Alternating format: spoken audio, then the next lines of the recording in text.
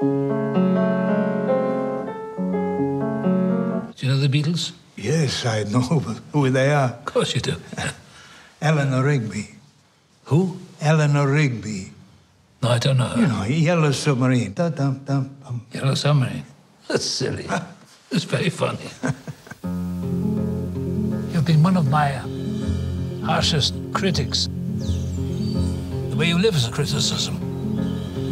Your shoes are a criticism. You don't like my shoes?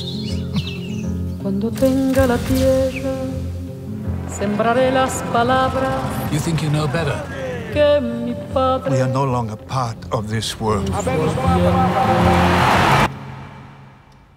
You know, the hardest thing is to listen, to hear his voice. God's voice. Cuando tenga la